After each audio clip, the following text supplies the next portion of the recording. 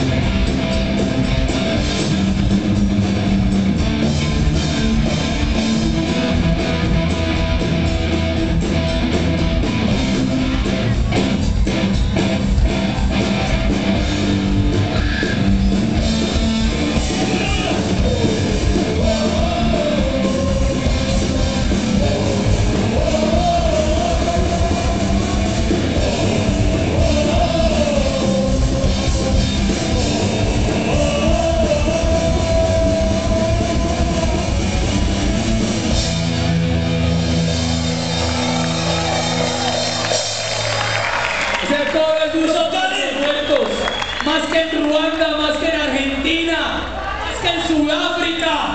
Perdón sí, pero olvido jamás.